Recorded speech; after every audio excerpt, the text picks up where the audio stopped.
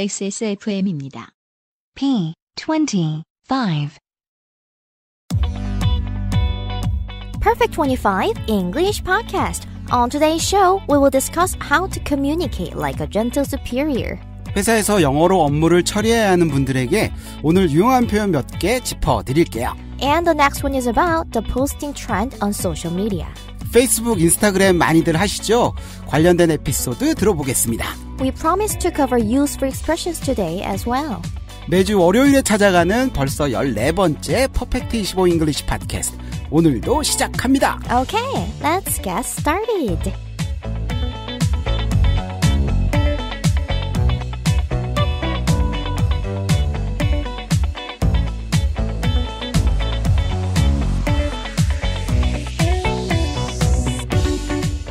이제 이번 주가 개학 개강입니다.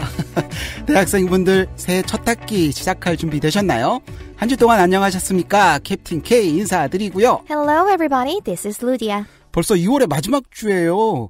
세상에 17학번이 17학번이 교정에 돌아다니겠군요. 아이고 대학 다닌 지 너무 오래돼서 요즘은 어떻게 되는지 모르겠습니다만 그래도 저 새내기 때는 선배님들이 밥 많이 사주셨었어요. 새내기 때는 밥값 뭐 술값 전혀 들지 않았었어요. 루디야. 미국에서 대학 생활은 어떤가요? 새내기라고 뭐 선배들이 막 이뻐해주고 막 밥 사주고 막 그런 문화 있나요? 아, 미국 대학 내에 있는 그 한국인 커뮤니티는 아무래도 한국식으로 그렇게 선배들이 챙겨주는 문화가 있는데요. 미국 친구들은 뭐 1학년이라고 밥 사주고 그런 문화는 없어요. 물론 친절하게 뭐 높은 학년이 그 프레시맨한테 식당이 어딘지 알려주고 뭐 같이 밥을 먹으러 가기도 할 수는 있지만 더치페이하죠. 그렇군요. 개강이 되면은 손에 손 잡고 우리 팟캐스트 1일 1 전도 아시죠?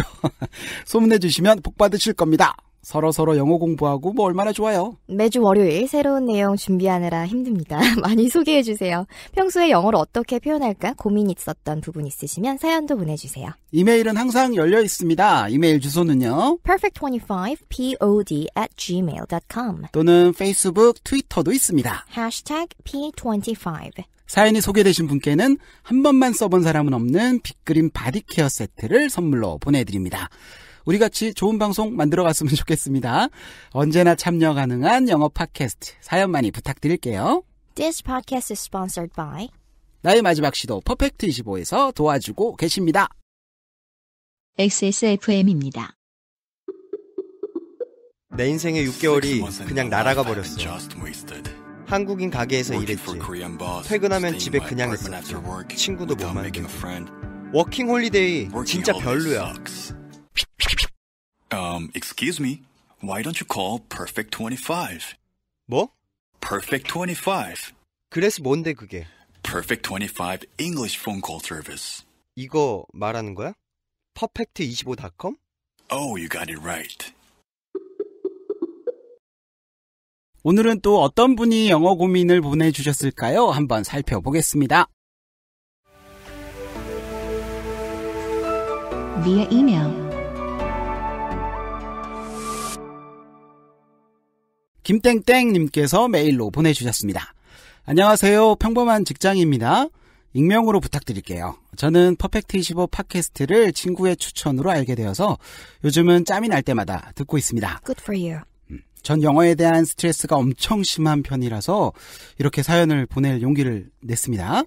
저는 직장에서 외국인들과 함께 일을 하고 있습니다. 자주 부딪히지는 않지만 가끔씩 물론 대화를 해야 하죠. 직장에서 한 해 한 해 있다 보니 제 아래로 계속 새로운 직원들이 들어오고 그래서 업무를 하다 보면 지시를 해야 하는 상황이 옵니다. 영어가 짧은 저는 질문에 초점을 빗나간 문장을 얘기하기도 하고 의도치 않게 상대방의 기분을 언짢게 할 때도 있어요. 유유. 회사다 보니 기본적인 매너도 있어야 되겠고 아래 직원이다 보니 너무 가벼워 보여서도 안 되겠고 저는 정말 다정다감하게 지시하고 싶은데 말이죠. 예를 들자면 내 생각엔 이건 너가 잘못한 것 같은데 라던가 너가 바쁜 건 알지만 이 일은 오늘까지 마감해 줬으면 해. 이건 너가 직접 보스에게 보고했으면 좋겠어. 또는 일은 많이 힘들지만 내가 잘 해줄 거라고 생각해 라는 격려의 메시지 같은 것도요. 라고 보내주셨습니다. 네, 업무 스트레스도 많으실 텐데 영어 스트레스까지 고생이 많으십니다. 어, 물론 김땡땡님을 포함해서 외국계 회사에서 일하시거나 영어로 업무를 조율해야 하는 분들 맞으시죠? 아무래도 상대방이 상처받지 않게 예의 바르게 표현하는 것이 중요할 듯합니다. 네, 영어는 직접적인 언어라고 생각하시는 경우가 있는데 한국어랑 마찬가지로 사람에 따라서 또 상황에 따라서 직접적일 수도 있고 돌려서 말할 수도 있어요. 오늘은 사연자님이 매너 있고 친절하게 또 가볍지는 않게 전달하고 싶다는 부분을 염두해서 알려드리도록 할게요. 질문으로 가보죠. 내 생각엔 이건 너가 잘못한 것 같아는 뭐라고 할까요? 어, 아무래도 좀 직접적인 것 같아요. 이게 사실이라도 this is your mistake 이렇게 말하면 좀 상처가 될 것 같거든요. 잘한 부분은 먼저 언급하신 다음에 실수에 대해 얘기하면 좀 더 잘 받아들이지 않을까 싶습니다.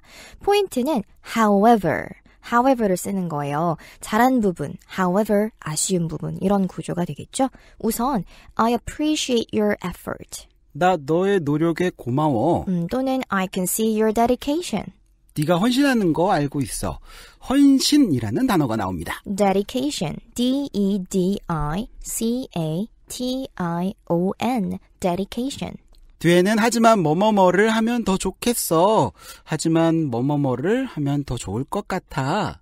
However, it would be better if you could 바라는 점의 형태로 얘기해 보세요. However, it would be better if you could 바라는 점. 더 구체적으로 뭐 얘기를 하실 것 같으면 You know what? You really did great on 잘한 부분. 무엇뭐는 정말 잘했어. However, could you improve on 부족한 부분? 무언가를 좀 더 개선할 수 있을까? 이 형태로 얘기하셔도 될 것 같아요. 음, 뭐뭐를 좀 개선할 수 있을까라는 표현으로는요. Could you improve on what what? 이미 한 실수는 돌이킬 수 없으니까 앞으로의 이런 개선 방향을 얘기해 주시는 게 좀더 constructive feedback이 될 것 같습니다. 알겠습니다. 다음 문장은요.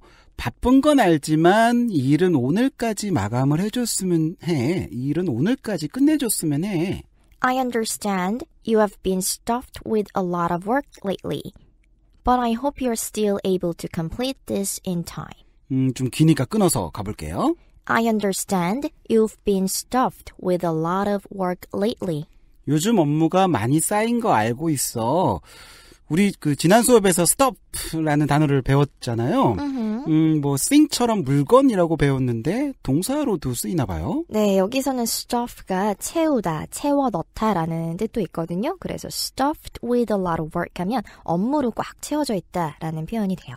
그래서 요즘 업무가 많이 쌓인 거 알고 있어 라고 표현하고 싶을 땐요. I understand you have been stuffed with a lot of work lately. 하지만 이 일은 제 시간에 마무리해 줄 수 있기를 바래. But I hope you are still able to complete this in time. 만약에 꼭 오늘이라고 말씀하시려면 in time 대신에 today를 쓰면 되겠죠. 제 시간에 라는 표현이 있습니다. Right, in time이란 표현이죠. 그 인타임하고요. 음. 온타임하고 항상 헷갈렸던 것 같아요. 네, 둘 다 시간에 맞춘다라는 의미가 있어서 비슷해 보이는데요. 차이가 있다면 time은 음, 마감 시간보다 충분히 좀 시간을 남겨놓고 일을 마무리하는 의미라서요. 시간 안에라고 기억하시면 더 좋을 것 같고요. time은 정확히 시간을 딱 맞춰서 즉 정시에라는 의미가 됩니다. 다시 한번 가볼게요. 요즘 업무가 많이 쌓인 건 알고 있어. 하지만 이 일은 오늘까지 마감을 해줬으면 해. I understand you have been stuffed with a lot of work lately, but I hope you're still able to complete this in time. 김땡땡님의 다음 질문이었습니다. 이건 네가 직접 보스에게 보고해줬으면 해. 이런 표현도 뭐 please나 could you로 시작하면 좀 더 예의 있고 부드럽게 들리겠죠. Please report it to the boss directly 또는 could you report it to the boss directly?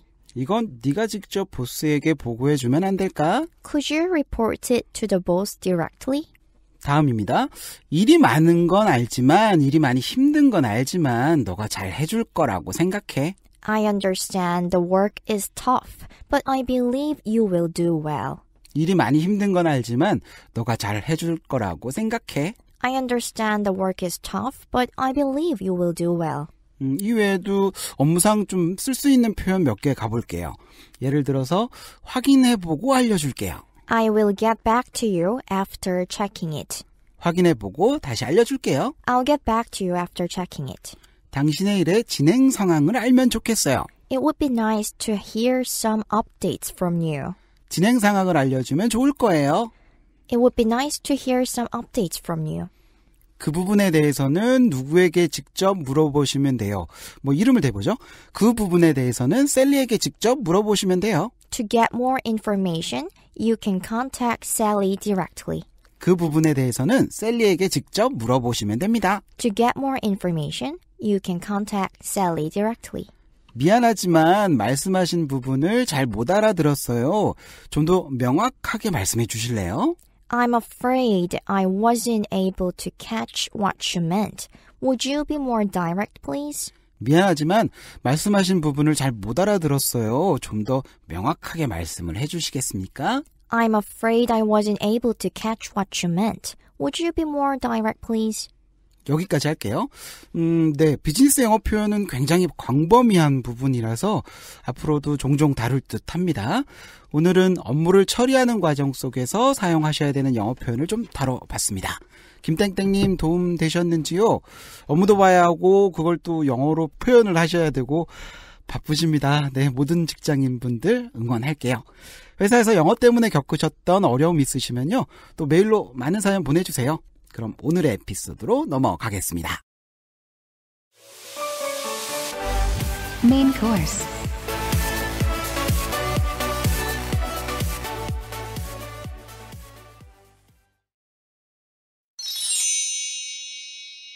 You're totally trapped in Instagram. Stop using the phone and eat.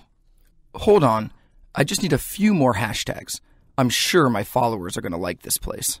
Isn't it kind of shabby though? People usually only like fancy places. That's an old story. Many people are getting sick of seeing meaningless pictures just for showing off. Well, I'm one of them. Some attention seekers' phony pictures make me cringe. Yeah, I guess that's why postings that represent one's true tastes, stories, or philosophy get attention these days. Just like mine on unknown brands or local stores with their own styles. I respect your taste and philosophy, but can you finish your pizza first to show the chef respect? It's getting cold. Done. I've already got two likes. 오늘은 어떻게 들으셨을까요? 저희가 하나하나씩 짚어드리겠습니다. You're totally trapped in Instagram. Stop using the phone and eat. 너 완전 인스타그램 중독이야. 휴대폰 좀 그만하고 먹어. 라는 뜻입니다. 기니까 한번 끊어서 가볼게요. You're totally trapped in Instagram. 너 완전 인스타그램 중독이야. 중독이야. 라는 표현이 있습니다. 네, trapin이라는 표현이 나왔는데요. trap, T-R-A-P. trap은 가두다라는 의미도 되고 덫이라는 뜻도 있어요. 그래서 be trapped in 무엇 무엇 하면 뭐 같은 표현으로 be addicted to 무엇 무엇 무언가에 중독되다 또는 be into 무엇 무엇 하셔도 괜찮아요. 갇힌 거니까 뭐 중독이 되는 거네요. 음흠. 이어지는 문장입니다. Stop using the phone and eat. 휴대폰 좀 그만하고 먹어. 다시 한번 들어볼게요. 전체 문장. You're totally trapped in Instagram. Stop using the phone and eat. 너 완전 인스타그램 중독이야. 휴대폰 좀 그만하고 먹어. 두 번째 문장 갑니다. Hold on. I just need a few more hashtags. I'm sure my followers are going to like this place. 잠깐만, 음, 거의 다 됐어. 해시태그 몇 개만 더 달면 돼. 내 팔로워들이 여기 분명 좋아할 거야. 김이다. 끊어서 갈게요. Hold on. 잠깐만. 네, 잠깐만이라는 표현으로 hold on도 나왔고요. 어, 다른 표현도 몇 개 있죠. just a second 또는 뭐 one second, wait a minute, wait a second 이렇게 시간의 표현이랑 많이 써요. second 하면은 초 단위로 얘기하죠. 또는 뭐 minute, 분으로 얘기할 수도 있고요. 다 의미가 같으니까 선택하시면 될 것 같고요. 이어지는 문장입니다. I just need a few more hashtags. 해시태그 몇 개만 더 달면 돼. I'm sure my followers are gonna like this place. 내 팔로워들이 여기 분명히 좋아할 거야. 문장 다시 전체 들어봅니다. Hold on. I just need a few more hashtags. I'm sure my followers are going to like this place. 잠깐만, 거의 다 됐어. 해시태그 몇 개만 더 달면 돼. 내 팔로워들이 여기 분명히 좋아할 거야. 세 번째 문장 갈게요. Isn't it kind of shabby though? People usually only like fancy places. 근데 여기 좀 허름하지 않아? 사람들은 화려한 장소에 좋아요를 누르잖아. 이것도 좀 기네요. 끊어서 가봅니다. Isn't it kinda shabby though? 근데 여기 좀 허름하지 않아? 좀 뭐 약간 이런 표현이 있습니다. 네, kinda라는 발음이 나는데요. 원래는 kind of이지만 빠르게 얘기해서 kinda, kinda 이렇게 들리고요. 비슷한 표현으로 sort of 역시 빠르게 얘기해서 sort of, sort of 이렇게 약간이란 뜻으로 씁니다. 뒤에는 허름한 뭐 다 낡은이라는 단어가 보이고요. shabby, S-H-A-B-B-Y, shabby 하면 네, 공간이 뭐 낡거나 오래된 것도 될 수 있고요. 음, 어떤 물건 자체도 누추해 보이고 이런 느낌으로 쓸 수 있는 단어라서요. For example, 뭐 shabby clothes, 뭐 허름한 옷, 음흠, 또는 shabby look. 뭐 누추한 차림 정도의 표현이 될 것 같습니다. Right. 이어지는 문장입니다. People usually like fancy places. 사람들은 화려한 장소에 좋아요를 누르잖아.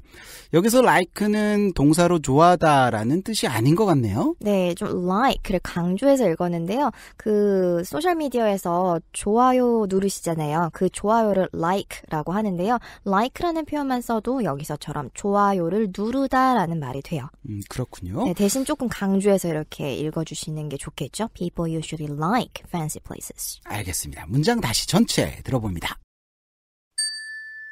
Isn't it kind of shabby though? People usually only like fancy places. 근데 여기 좀 허름하지 않아? 사람들은 화려한 장소에 좋아요 누르잖아. 라는 뜻이었고요. 다음 문장 할게요. That's an old story. Many people are getting sick of seeing meaningless pictures just for showing off. 그건 옛날 얘기야. 많은 사람들이 의미 없는 과시용 사진 보는 거에 실증 내고 있거든. 문장이 깁니다. 끊어서 가보지요. That's an old story. 그건 옛날 얘기야. Many people are getting sick of 많은 사람들이 실증 내고 있어. 뭐 실증 나는, 실증 내는 이라는 표현이 있고요. 네, to be sick of 무엇 무엇이라는 표현이 나왔어요. 음, get sick of에서 sick은요, 아프다라는 뜻보다는 여기서는 실증난, 질린이라는 표현이 돼요. 강조 형태로 sick and tired of까지도 쓸 수 있습니다. 그건 뭐 지긋지긋한 이런 뜻이 되겠네요. Right, right. 알겠습니다. 이어지는 문장은요. Seeing meaningless pictures. 의미 없는 사진들을 보는 걸 의미 없는이라는 단어가 보이고요. meaningless. M-E-A-N-I-N-G L-E-S-S. meaningless. 반대로 의미 있는이라는 말은 meaningful이 되겠죠. 이어지는 문장입니다. just for showing off. 단지 과시하기 위해 뭐 자랑질하기 위해라는 뜻인데요. 과시하다라는 표현이 있습니다. show off라는 표현이 나왔어요. show off, 가, 뭐 자랑하다라는 표현인데요. 또 뭐 비슷한 느낌으로 brag라는 단어도 써요. brag, b-r-a-g 하면 뭐 뽐내다 이 정도로 보시면 됩니다. 문장 전체 다시 들어봅니다. That's an old story. Many people are getting sick of seeing meaningless pictures just for showing off. 그건 옛날 얘기야. 많은 사람들이 의미 없는 과시용 사진 보는 거에 실증 내고 있거든. 이라는 뜻이었고요.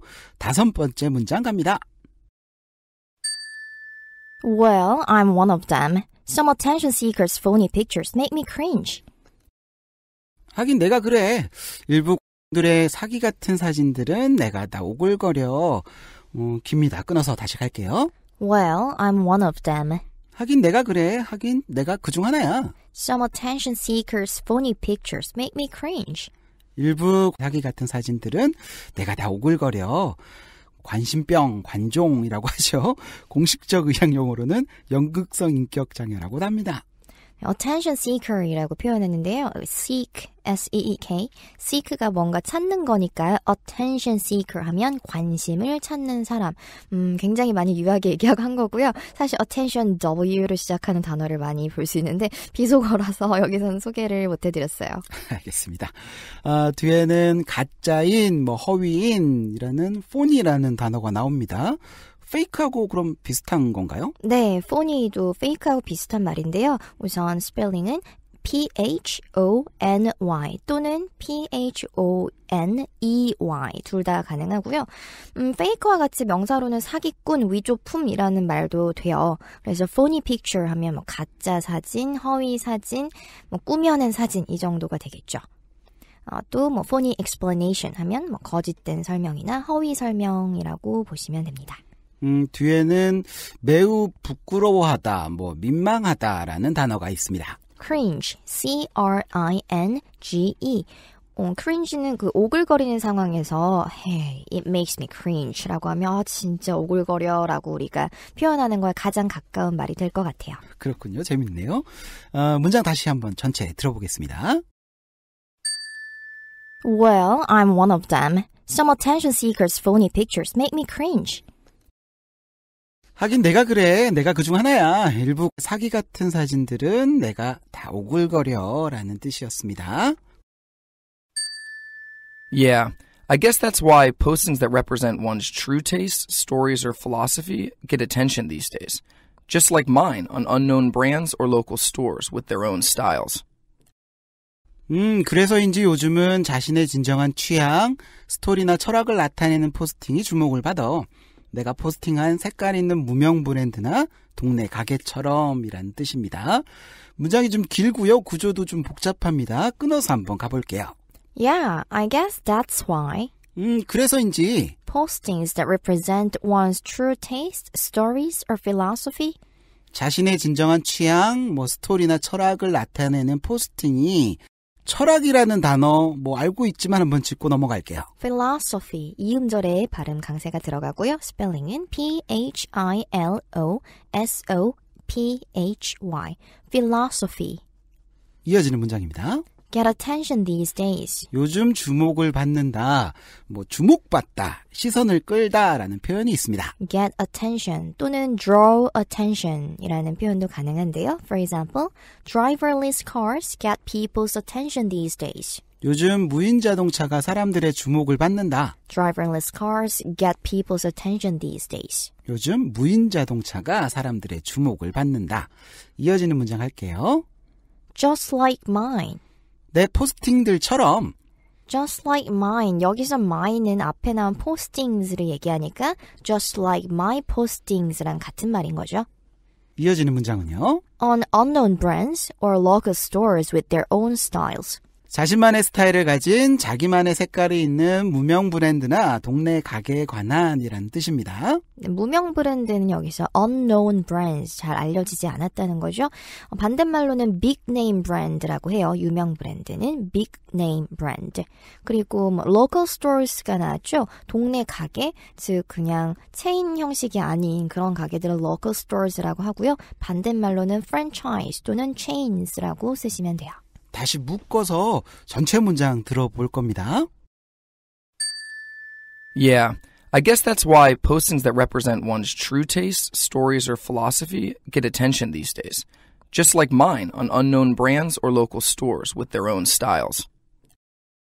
음, 그래서인지 요즘은 자신의 진정한 취향, 스토리나 철학을 나타내는 포스팅이 주목을 받아. 내가 포스팅한 색깔 있는 무명 브랜드나 동네 가게처럼이란 뜻이었고요. 다음 문장 갑니다. I respect your taste and philosophy, but can you finish your pizza first to show the chef respect? It's getting cold. 요것도 기네요. I respect your taste and philosophy, 너의 취향과 철학은 존중하는데 but can you finish your pizza first? 일단 너 피자 좀 끝낼래? 피자 좀 먼저 먹을래? To show the chef respect. 음, 셰프에게 존경을 표하기 위해서 뭐 누구누구에게 존중, 존경을 표현하다, 뭐 보여주다라는 표현이 있습니다. 네, show 누구 respect의 형태가 나왔는데요. 그냥 respect 누구도 되지만 show 누구 respect 역시 가능합니다. For example, I know we are close, but please show me some respect. 우리가 가깝긴 하지만 나 좀 존중해줘. I know we are close, but please show me some respect. 우리가 가까운 건 알지만 나 좀 존중해줘라는 뜻이었고요. 뒤에는 음, 뭐 요새 요리 프로그램으로 많은 분들이 알고 계시듯 셰프라는 단어가 나옵니다. 네, chef, C-H-E-F. 어, 근데 비슷한 단어가 또 있죠. chief라는 단어가 스펠링 하나 차인데요. C-H-I-E-F 하게 되면 그 최고이자 또는 뭐 장 이런 의미라서 CEO 할 때 바로 그 C가 stand 하는 게 chief입니다. 그렇군요. 이어지는 문장은 어렵지 않았습니다. It's getting cold. 다 식는다고 이번에도 다시 전체 들어볼게요. I respect your taste and philosophy, but can you finish your pizza first to show the chef respect? It's getting cold. 너의 취향과 철학 존중하는데 일단 좀 먹어서 셰프님한테 respect 좀 보여줄래? 다 식는다고 라는 뜻입니다. 마지막 문장 갑니다. Done. I've already got two likes. 다 했어. 벌써 좋아요 두 개야. 뭐, 다 했어라는 표현으로 쉽게 done이라고 하면 되네요. 뭐, finished는 안 되나요? 물론 의미상 finish도 되는데요. I'm done 또는 그냥 done이라고 많이 얘기해요. 뒤에는 like가 또 나왔습니다. 네, 여기서 like는 그 좋아요를 얘기하는 거죠. 동사가 아니고요. 마지막 문장 다시 한번 들어볼게요. Done. I've already got two likes.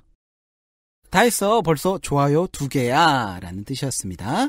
다시 다이얼로그 전체 들어보겠습니다. 이번에는 조금 더 들리실 수 있겠죠? You're totally trapped in Instagram. Stop using the phone and eat. Hold on. I just need a few more hashtags. I'm sure my followers are going to like this place. Isn't it kind of shabby though? People usually only like fancy places. That's an old story. Many people are getting sick of seeing meaningless pictures just for showing off. Well, I'm one of them. Some attention seekers' phony pictures make me cringe. Yeah, I guess that's why postings that represent one's true taste, stories, or philosophy get attention these days. Just like mine on unknown brands or local stores with their own styles. I respect your taste and philosophy, but can you finish your pizza first to show the chef respect? It's getting cold. Done. I've already got two likes.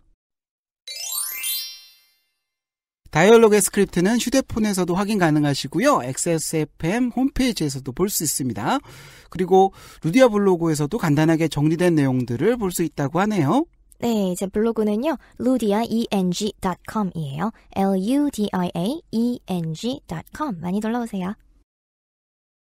XSFM입니다.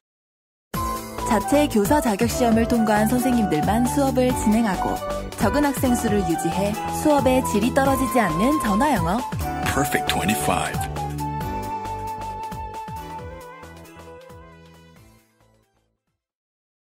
Perfect 25 English 팟캐스트의 14번째 방송이었습니다.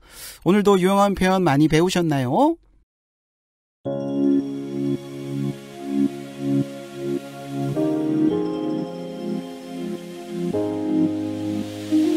루디아는 블로그만 하고 뭐 딴 건 안 하잖아요. 딱히 이유라도 있나요?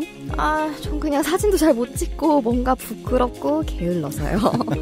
그랬군요. 전 음, 트위터나 인스타그램은 도전해 보려다가 실패했고요. 어. 페이스북은 뭐 종종 하는데 그래도 애 키우느라고 인간관계가 단절된 저는 유일한 소통 채널입니다. XSFM과 Perfect 25가 함께 만드는 Perfect 25 English 팟캐스트 책임 PD 겸 엔지니어 UMC 프로듀서와 진행의 Captain K 그리고 루디아 선생님이었습니다. 목소리 출연은요. 마이클 조셉 쿡. 다음 주 월요일에도 어김없이 찾아뵙겠습니다. 꼭 또 만날게요. See you again. Goodbye.